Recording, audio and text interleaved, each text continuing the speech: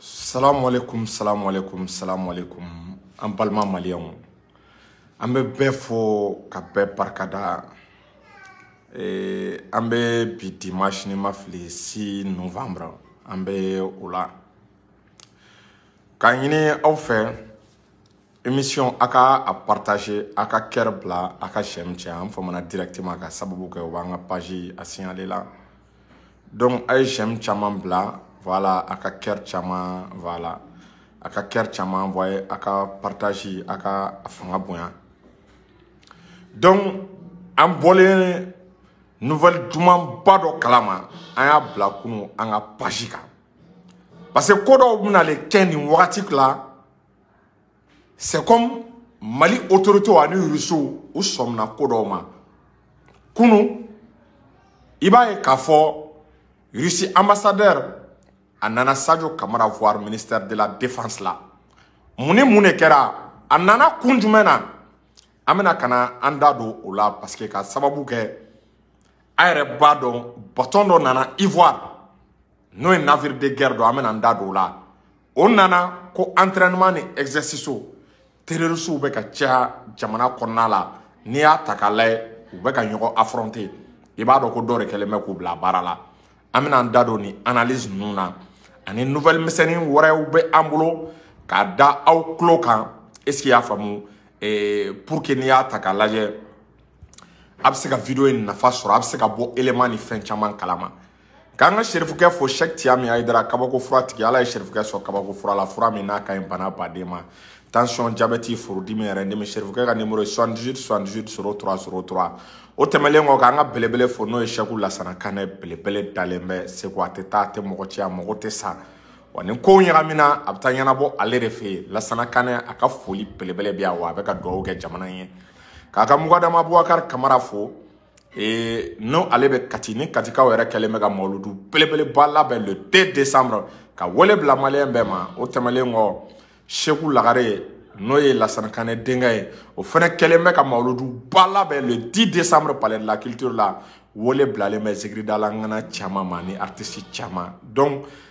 ka segu autorité morale a ka foli bɛ a gise ka seduba n'o ye lasana kane ka kadiriya ɲɛmɔgɔ ye ani lasana danbele ninnu bɛɛ ka foli bɛ a ye partage fanga bonya o tɛmɛlen kɔ k'an ka belebele fo n'o ye shɛk sala kanijalo denmisɛnnin tɛgɛ koko ɲuman a bɛ makɔrɔba jɛgɛ dunɔni shɛk sala kanijalo tɔgɔ mana fɔ ne bolo mali kɔnɔ mɔgɔ caman bɛ a dɔn maliyɛn baden bɛ a dɔn c'est-à-dire eh, funankɛni don mais a n'a ka dɔnni n'a ka dalilu a sigilen bɛ actuellement a bɛ bamakɔ bi an bɛ wagati min kɔnɔna la donc a ka foli belebele bɛ yan dankɔrɔba dans les jours à venir an bɛna a ka nimoro di ni minnu mago b'a la n'ala sɔnna donc an b'a lajɛ an bɛ don an ka sujet kɔnɔna la an bɛ don an ka suya kɔnɔ a y'a kɛ tɔgɔ bi ye dimanche le 6 novembre mɔgɔw ko an ka date fɔ dimanche le 6 novembre est ce que vous voyez donc kunu an bɔra information kalama ko rusi ambassadeur ale ni sadio kamara olu ye ɲɔgɔn ye ministère de la défense la mais yanni ka ko ɲɔgɔn ye in ma mun ni mun de kɛra ange jumɛn de bɛ yen n'o de y'a to irisi ani sajo kamara esi y'a faamu irisi ka ambasadɛri ni sajo kamara o ye ɲɔgɔn ye n'a hakili b'a la faransi ka lahaw ta bɔtɔn dɔ de bɔra faransi ka tɛmɛ guinee esi y'a faamu golf de guinee fɛ ka na icoko cote d'ivoire k'ale nalen don exercice militaire la ka ivoiriyɛnw dege kɛlɛ fɛɛrɛ la ka ivoiriyɛnw dege armu utiliser cogo la ko ka ivoiriyɛnw dege terrorisiw kɛlɛli la ale ni piratage minnu bɛ taa mɔni kɛ n'a ma kɛ sariya kɔnɔ k'u bɛna ivoiriyɛnw dege o kɛlɛ la alors que kabiri mɔgɔ ye ko dɔn ne ma deli ka faransikan ni navire de guerre ye n'a bɛ fɔ a ma bâtiment le tonnerre navire de guerre min don a ka bon ni faransikan navire de guerre bɛɛ ye pourquoi faransi b'o bila ka na afiriki nin wagati kɔnɔna la pourquoi faransi b'o bila ka na an bɛ wagati min na cote d'ivoire k'u bɛna exercice militaire kɛ n'i y'a ta k'a lajɛ o exercice militaire u ye cɛ kɛmɛ saba de bila ka na o exercice militaire la avec des armes blindées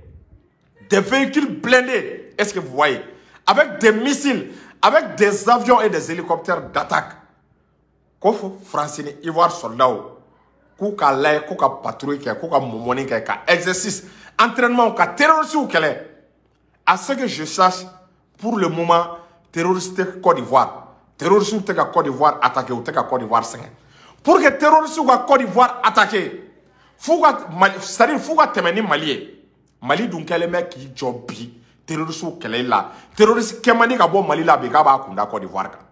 o tɛmɛlen kɔ tuguni pour que ka cote d'ivoire attaquer fo terorisiw ka tɛmɛ ni burkina ye burkina perezan kura min nana kabiri a ye fanga ta don min na a kɛlen bɛ ka cɛsiri sugu bɛɛ bila sen kan pour que terorisiw kana dankari kɛ burkina la tant que terorisiw ma dankari kɛ burkina la ka burkina dépasser o se man di cote d'ivoire donc i b'a dɔn k'a fɔ ko ka taa entraînement kɛ ka terrorisiw kɛlɛ pour le moment Côte d'Ivoire menacelen tɛ directement terrorisme fléau la bon an t'a dɔn ŋaniya min bɛ faransi kɔnɔ ŋaniya min b'u kɔnɔ ala kelen de bɛ u dɔn n'u bɛ ka intervention militaire de préparer parce que n'i y'a ta k'a lajɛ burkina coup d'état tun bɛ kɛ wagati min na ni maliyɛnw hakili b'a la burkina kudeta wagati bataon dɔ wulila esike y'a faamu kana jigin burkina aéroport la u parachutera ka jigin hali sini an t'a dɔn komando minnu jiginna u komandow u bɔra dugu jumɛn na u bɔra nationalité jumɛn na o ye fɔlɔ ye filanan n'i y'a ta k'a lajɛ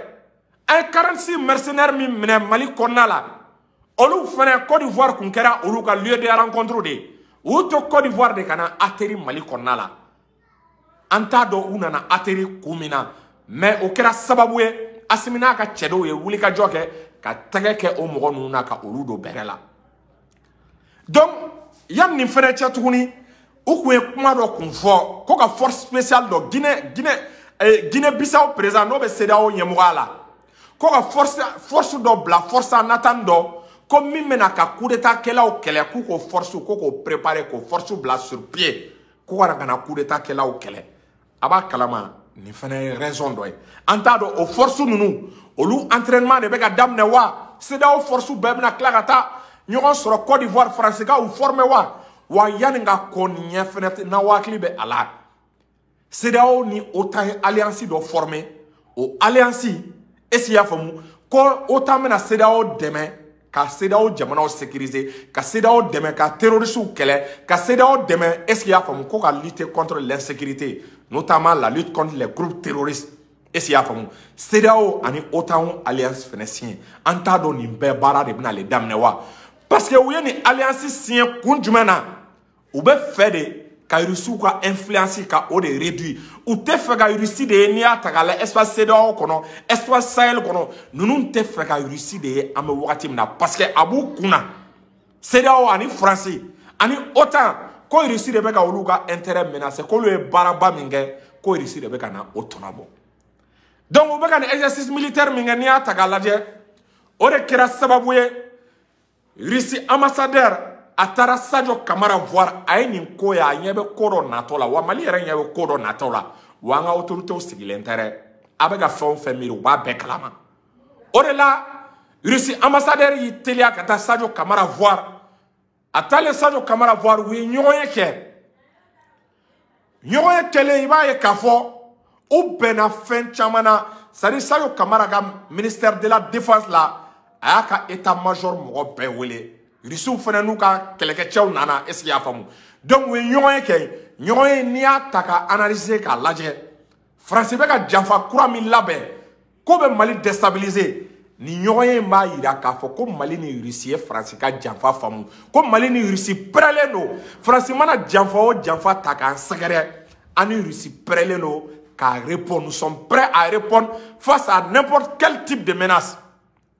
i b'a kalama mali ni rusi ye o siyan le di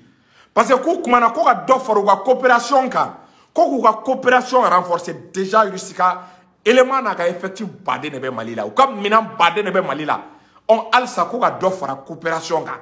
ko ka coopération fanga bonya ko ka taa caman fara est ce que y'a faamu rusi ni mali u ka tɛgɛdi ɲɔgɔn ma sur le plan sécuritaire ko ka dɔ fara kan k'a intensifier donc nin ye message de ye k'a lase CEDEAO ma k'a lase France ma k'a lase min bɛ France kɔnɔ n'a bɛ fɛ k'a kɛ Côte d'Ivoire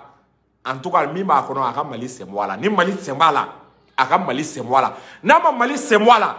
le dion Mali Russie est prêt à répondre à n'importe quel type de menace mali ni rusi labɛnnen don mali ni rusi pɛrɛlen don ni janfa o janfa ko k'a bɛ bin est ce que y'a faamu mali ka bin les autorités maliennes et les autorités russes sont prêts à répondre face à n'importe quel type de menace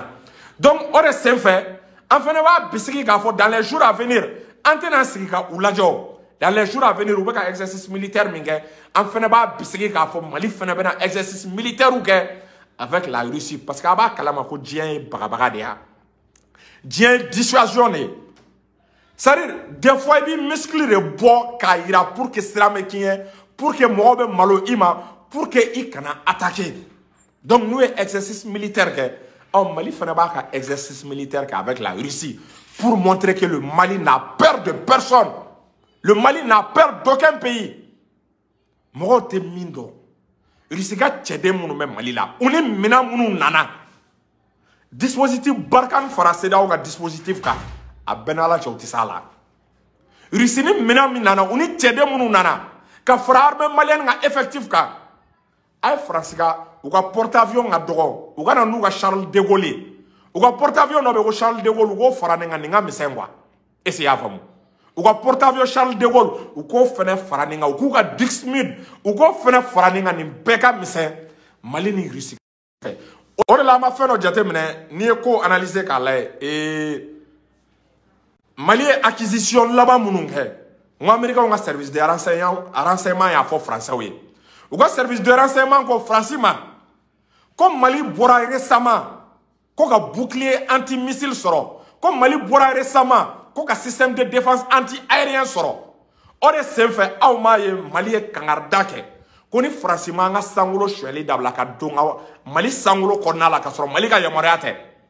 ko mali pɛrɛlen bɛ ka usage de légitime défense n'o de ye ni mɔgɔ bin'i ka jamana kan avion ka don i ka jamana territoire kan ka avion gosi k'a lajigin ka avion yɛrɛ kɛ ko mali pɛrɛlen don ko k'o baara kɛ kabiri abdoulaye job ye nin menace kɛ nations unis na n'aw hakili b'a la faransi ka avion kelen tɛ yen tuguni k'a donna mali espace aérien na u b'a dɔn min b'an bolo u b'a dɔn fɛn cɛjugu min b'an bolo walahi u b'a dɔn minɛn kalite min b'an bolo minɛn cɛjugu min b'an bolo faransi b'a dɔn o de sen fɛ faransi u tɛ ka kariya est y'a faamu k'an ka espace aérien violer o tɛmɛnen kɔ u m'an ka minɛnw bɛɛ yira o donc nin b'a yira k'a fɔ ko mali ye bouclier anti missile sɔrɔ irisi a tɛ taa jamana la irisi tɛ intervention kɛ jamana la a ka cɛdenw tɛ taa jamana la n'u ka bouclier sam s 300 sam s 400 sam s 500 n'u ma taa o installer o jamana kan pour que avion ennemis u kana se ka o sanfɛla o espace aérien survoler aw m'a ye mali ka avion min tiɲɛna récemment irisi ko mali ma ko mali k'i hakili sigi ko bɛ fɛn di mali ma ko min ka girin ni su 25 ye déjà su 25 min nana a lo baden de nana kɛlen dɔrɔn de tiɲɛn'o la irisi ko k'u bɛna fɛn wɛrɛ di an ma ko min ka girin ni su 25 ye irisi fɛnɛ kɛlen bɛ ka mali kɛ a ka échantillon dɔ de ye a bɛ ka politiki min kɛ si jamais est ce que y'a faamu mali tɔnbera faransi ka ko ka mali sɔrɔ aw b'a kalama sur le plan géopolitique o man ɲi irisi ma donc se o se bɛ rusi ye a b'o se baara kɛ ka mali dɛmɛ se o se bɛ rusi ye moyen o moyen b'a ye a b'o moyen kɛ ka mali dɛmɛ parce que ni mali tɔnbera problème ka mali sɔrɔ d'abord a man rusi tɔgɔ ma a bɛ rusi affaibli afrique surtout n'i y'a ta k'a lajɛ n'i ye sous région ta k'a lajɛ ka géopolitique ta k'a lajɛ i b'a ye africain bɛɛ bɛ ka russie de ye bi k'olu de bɛ se ka jamanaw bɔ bolo la ko russie de bɛ se ka kɛ sababu ye insécurité bɛ ban jamanaw la ko russie de bɛ se ka kɛ sababu ye i bɛ minɛn sɔrɔ ka sɔrɔ degun t'a la ka sɔrɔ gɛlɛya t'a la ka sɔrɔ o ma embargo kɛ i kan donc russie bɛ k'o tɔgɔ duman min sɔrɔ afrique yan russie a sababu fanba bɔra mali de la russie tɛna mali lase russie tɛna sɔn mali ka bi russie tɛna sɔn mali ka destabiliser sinon an sigilen ɲɛ bɛ faransi la o de senfɛ i m'a ye mali ni burkina kɛlen bɛ ka coopération kɛ k'u tɛgɛ di ɲɔgɔn ma parce que n'u m'u tɛgɛ di ɲɔgɔn ma faransi bɛ faransi bɛ fɛ ka mali destabiliser cogo min na a y'o ŋaniya de ta ni burkina fɛnɛ o a bɛ fɛ ka burkina fɛnɛ destabiliser o cogo de la aw ma fɛn dɔ jateminɛ u kɛlen bɛ k'a fɔ terorisiw ye u ka pression sugu bɛɛ kɛ mali ni burkina kan o de sen fɛ a b'a ye k'a fɔ u taara terorisiw wele fo nigeria est ce que y'a faamu ka boko haram ka mɔgɔw wele nigeria en passant par le niger niger ye terorisiw ye k'i ɲɛ ci u kan terorisiw bolila ka don mali kɔnɔna la est-ce qu'il y'a faamu terrorisiw donna mali kɔnɔna la mais ni ala bɛ ko min na o ma tiɲɛ u ye terrorisiw ladon ni plan min ye terrorisiw yɛrɛ u yɛrɛ dama ma bɛn u ka plan na u yɛrɛ dama karilen bɛ ɲɔgɔn na n'u tilala ɲɔgɔn na u mana kɛlɛ kɛ ka ɲɔgɔn bunte armée malienne bɛ tila k'u bɛɛ bɔ baara la armée malienne bɛ imagine nin ye duwawu jaabi de ye faransi ka terrorisiw cɛ ka bɔ nigéria en passant par le niger ka bɔ est ce que y'a faamu afghanistan ka bɔ syrie état islamique jnim Boko Haram ka na n'u ye Mali parti dɔ la en complicité avec les autorités nigériennes ala nana kɛ u ma bɛn u yɛrɛ ka plan na plan exécuté tɔ u fɔra ɲɔgɔn kɔ u yɛrɛ dama karilen bɛ ɲɔgɔn na bi an ye min mɛn ko yadi akali denkɛ yɛrɛ sara o aso kɔnɔna la olu bɛɛ ye duwawu jaabiw de ye olu bɛɛ sarakaminɛw de ye donc n'u tilala mali bɛ tila ka u bunte donc u bɛ k'o baara min kɛ u bɛ ka t'u base o de kan ko insécurité bɛ yen anw m'an da don terroriste fila ka kɛlɛ la an b'a to u ka tila ɲɔgɔn na de o n'u tilala ɲɔgɔn na ka ɲɔgɔn si latunu armée malienne bɛ goni jigin u kan donc maliyɛn bɛɛ k'i hakili latigɛ o la donc burkina ta u b'a dɔn k'a fɔ olu ka armée fɔra ɲɔgɔn kɔ pour que armée ka se ka bila en état de combattre il va falloir un certain temps donc u bɛ fɛ ka burkina fana destabiliser donc baton ivoire baton min nana o kun dɔ b'a la c'est à dire ni burkina destabilisera ibrahima traore ni ala ma jan kɛ u ka objectif ye a ka tila ka taa dɛmɛ demander faransi fɛ n'a ye dɛmɛ demander faransi fɛ faransi bɛ taa fɔ onu na ko onu ka mandat d'a ma ni onu ye mandat di faransi bɛna intervention kura kɛ burkina k'a yɛrɛ renforcer k'a yɛrɛ kɔgɔ ka na ni otan jamanadenw ye n'o dun kɛra o ye menace directe de ye mali ma i m'a ye o de la burkina ibrahima tarawele ani asimi goyita u kɔnna u b'u k'u tɛgɛ di ɲɔgɔn ma u bɛ ka baaraw kɛ ɲɔgɔn fɛ wa u bɛna le baaraba baden de kɛ terrorisiw jigi bɛna kari u jigi bɛna tigɛ donc i b'a ye k'a fɔ le mali est en train d'anticiper faransi bɛ ka baara min kɛ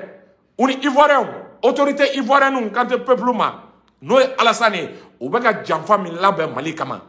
mali autorités fana ma sigi a kɔrɔ an bɛ k'an ka coopération tɔ renforcer avec la russie n'oublions pas que nous avons un partenaire stratégique mali ni iran fana bɛ k'i bolo di ɲɔgɔn ma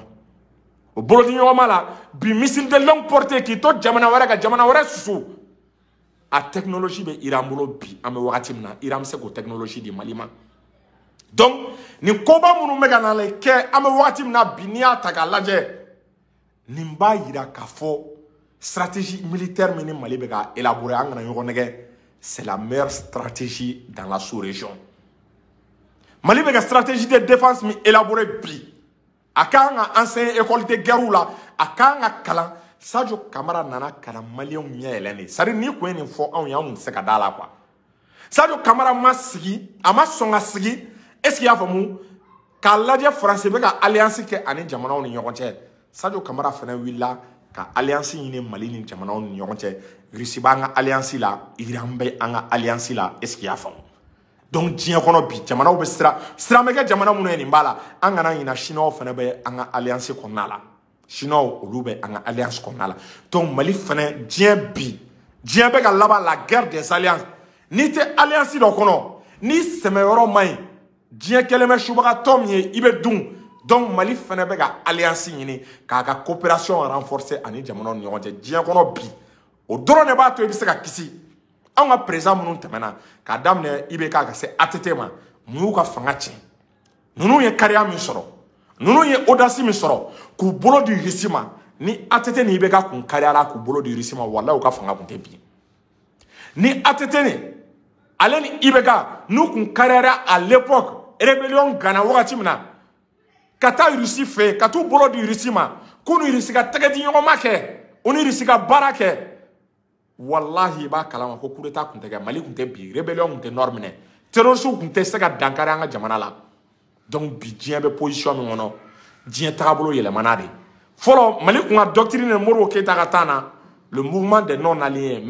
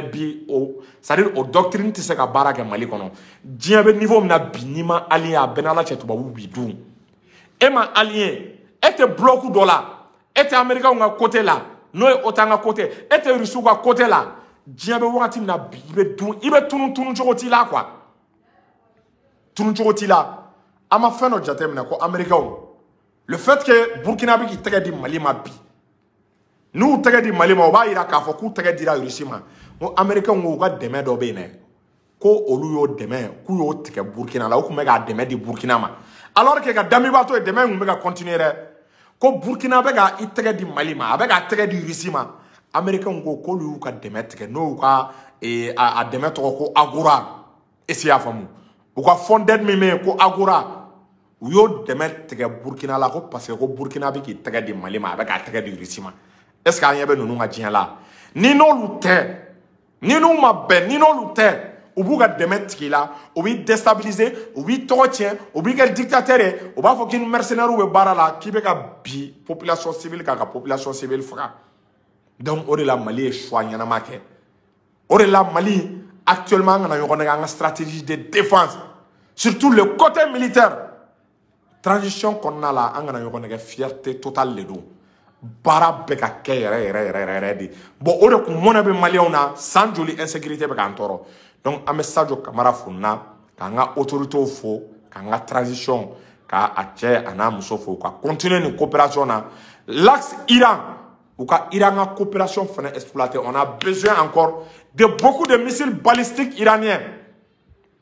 iran ka technologie kalan an ye u k'an dogo drone dilan cogo la u ka missile est ce que y'a faamu a tɔgɔ bɔtɔ a y'a kɛ to an ka dɔw bɛ k'an ka video signale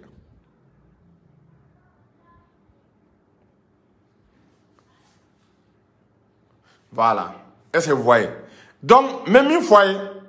an mago bɛ bi iran fana ka technologie la an fana ka taa iran fɛ yen iran ka an dɛmɛ u ka technologie la u ka missile balistique u ka avion u ka drone non seulement an t'an ta k'a sanni ye dɛ u k'an dege a dilan cogo la a bɛ dilan cogo min na a technologie il faut k'an k'a ɲɛɲini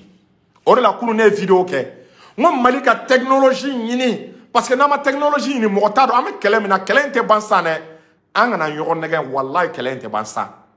kɛlɛ an bɛ se ka san bi saba kɛ nin kɛlɛ in na parce que tant que an ma technologie ɲini an yɛrɛ ka se ka missile dilan an ka se ka avion dilan ka drone dilan faransi tɛ fara an na parce que